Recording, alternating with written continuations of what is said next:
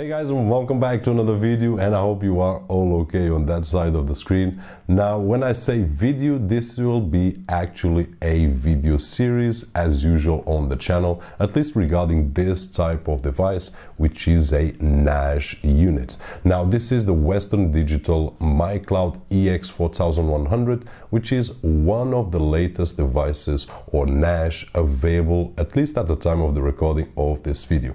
Now on this first video I'm going going to share with you a closer look at the device itself. We're going to take a quick look on the dashboard to see how easy it is to use one of these NAS and then we will also take a quick look on the WD2Go app on the desktop and on mobile to see some advantages and on the end of this video I will share with you the roadmap of the tests that I will be making with this device and I will give you some more feedback in just a few minutes. So hope you enjoyed the video and I'll see you soon.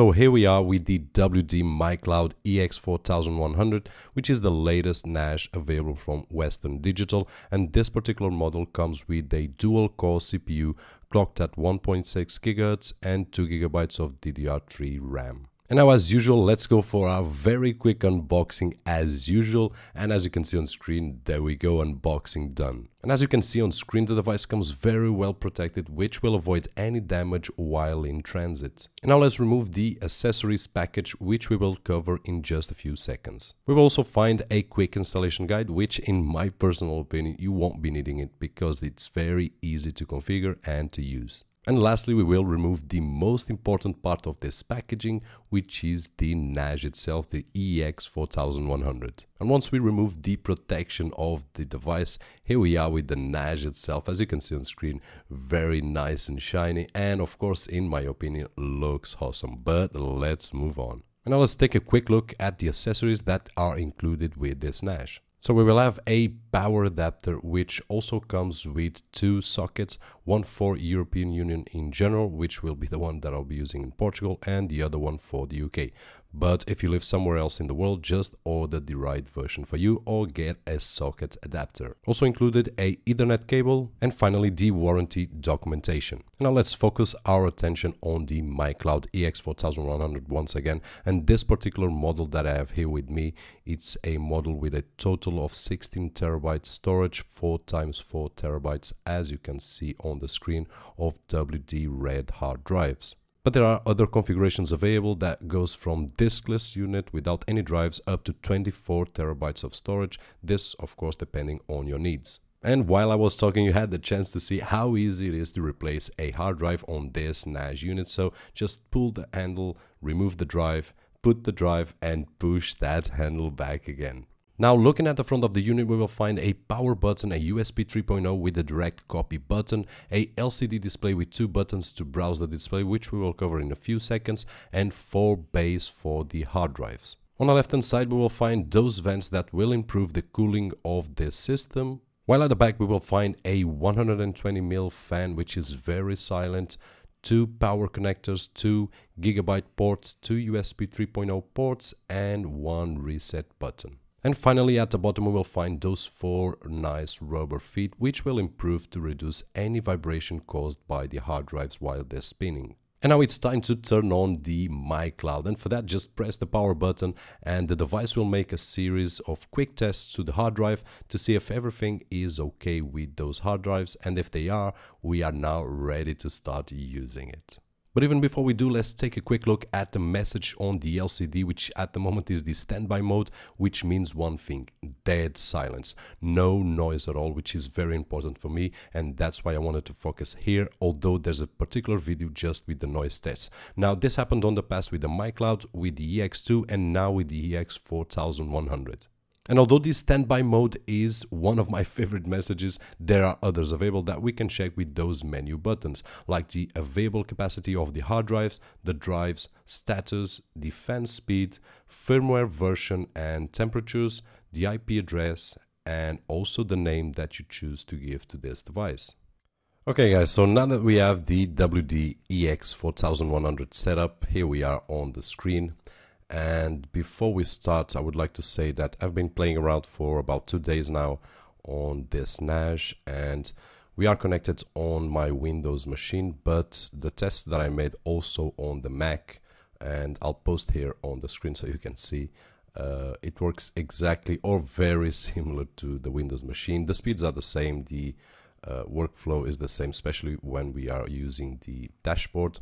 But regarding the mounting of the drives, which is the way that I that I do uh, work, it's exactly the same. So having that in mind, let's start this uh, screen over here. So you see that I already mounted um, DX 4100 here. And of course, you can access without uh, mounting it in. Just go to your network and you will find it here with all the folders. In my case, I do prefer to uh, have it mounted as I have my EX2 and my My Book Live over here.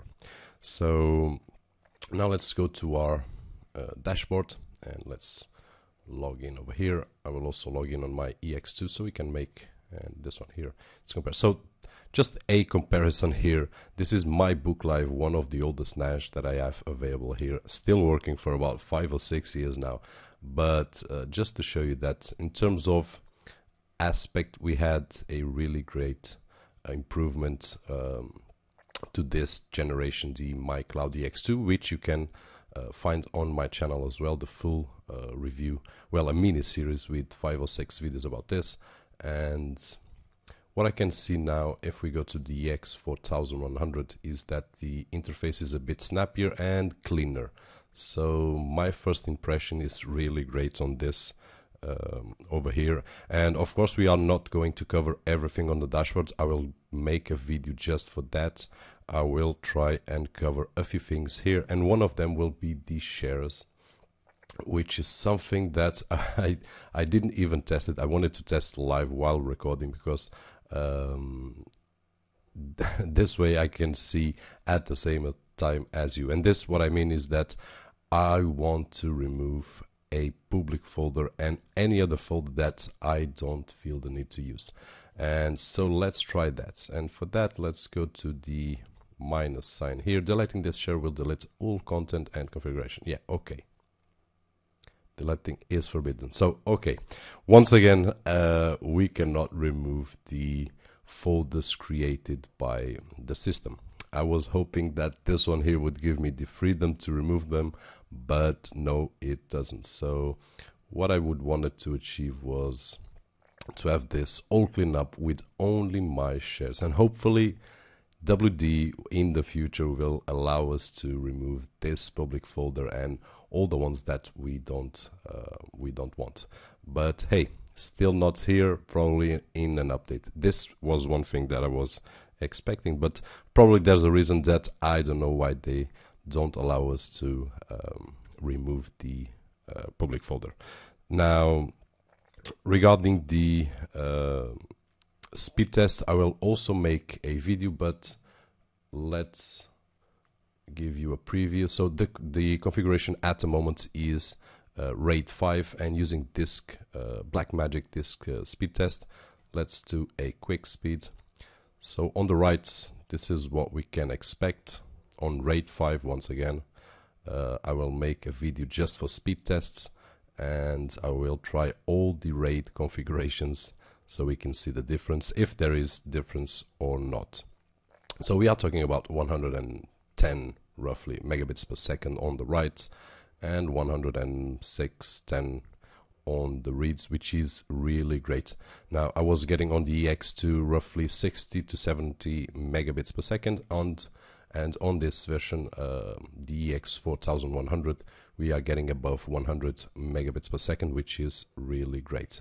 Now putting this aside because there will be a video just for that uh, one thing that I would like to mention here as well and before I do, let's just take a very quick look on the dashboard, just a teaser for the uh, next video. So we have the home folder with all this information and users, which we can uh, add as we want. The shares, which will be the thing that we will be adding here, the thing, the folders, sorry about that. Uh, cloud access, which we will cover on this video.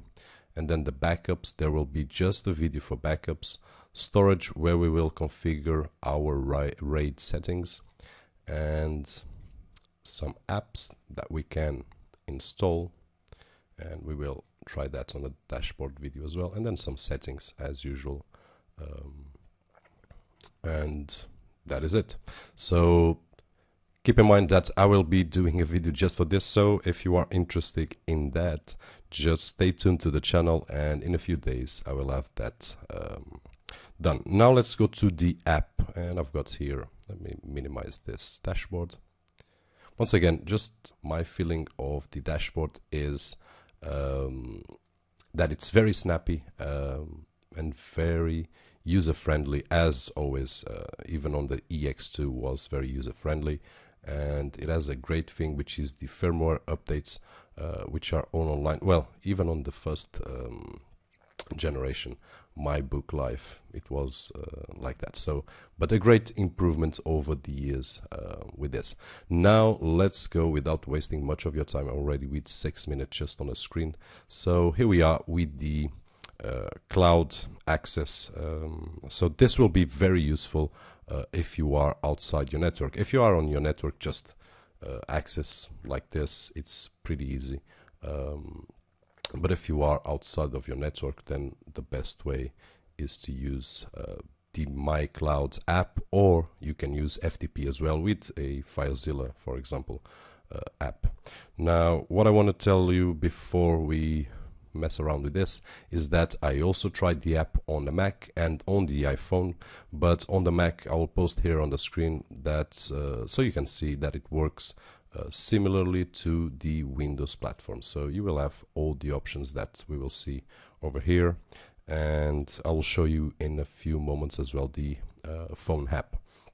So what we can do over here is if you are, let's say, traveling or outside your network um, in a different office, whatever, uh, you can access all your files that are on your NAS. So in this case, let's make a example here. Um, if I want to, let's say I need a photo and I want to drag it to, oops, I want to drag it to my desktop. Here we go. So I've got a photo on my desktop and I can work with that uh, photo. Or if I want to show the photos to someone and I don't need it on the desktop, just open it up. And the video, I will test it on the iPhone, so let's not test it here. Um, one more thing is, let's say that you have a document on your office, on your NAS in this case, and you are somewhere else in the world and you need to edit, just open it up. And I already did, did the testing here, but let's do testing one video.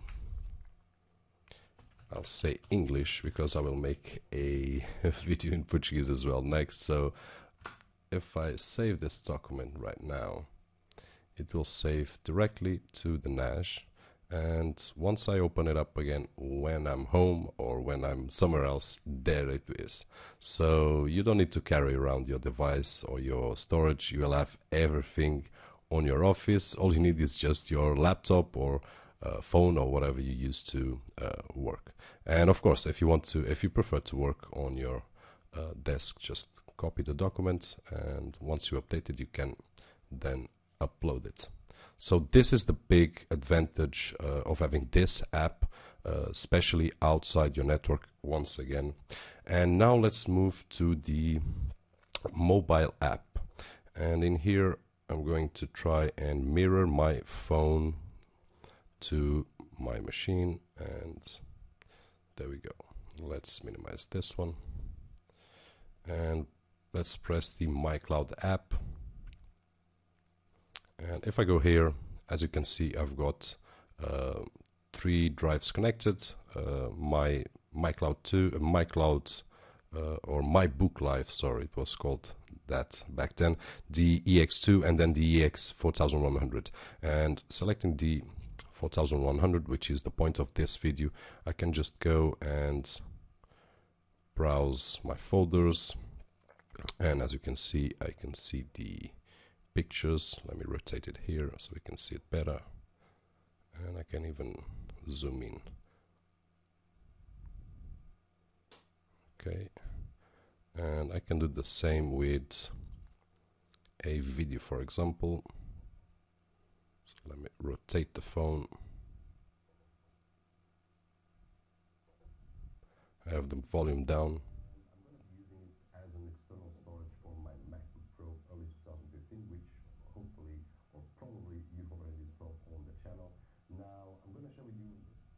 Okay, so in my opinion, works great um, as it did on the EX2. This is not anything new, uh, but I would like to point out that it's working great on the EX4100. Um, one more thing that I would like to mention here, and this I will post on screen, is that on the phone itself, I do get uh, the pixel uh, density or the way that I see with my eyes much better than what you are seeing here um, on the desktop because on the desktop everything is stretched um, so the resolution is uh, not the best. And let's close this.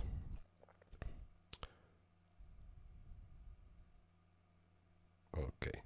So having this in mind guys let's log in again uh, this will be it for this video. Don't forget i will be doing a series and i will talk about that in the conclusion that i will be talking next. But hopefully you enjoyed this first approach to the ex4000 and i will see you in a few seconds. And that is it. So i hope you have enjoyed this first video. And let me share with you just a few things. And one of them is so far the experience that i've had with dx4100 has been great. Now, as you know, I'm building my list and taking some notes that will be covered in the future videos. And by talking on the future videos let me tell you by now that this is the first video the unboxing and etc that you already saw. The second video will be a full dashboard interface review. The third will be about backups. Fourth will test the speed tests and the noise tests if there are any. And lastly, I'm gonna share with you the pros and the cons, or the things that I did like most and the things that I did like less, as I always do on my videos. And finally, if the device is worth it or not. Now, a spoiler alert so far, I'm really happy with its performance and overall uh, capabilities. So that is it guys for this particular video. That is it. Hope that you stay tuned to the channel and are interested to see the follow-up videos about the EX4100. My name is Roberto Jorge and I'll see you on the next one.